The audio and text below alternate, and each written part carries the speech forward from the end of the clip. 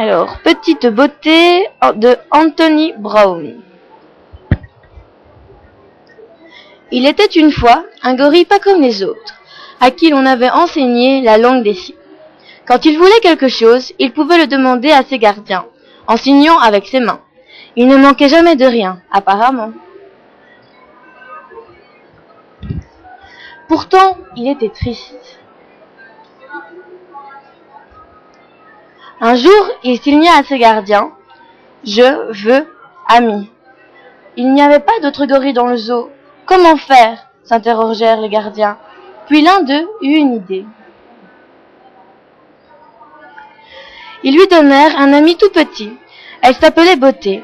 Ne la mange pas, dit un gardien. Mais non, le gorille adorait Beauté.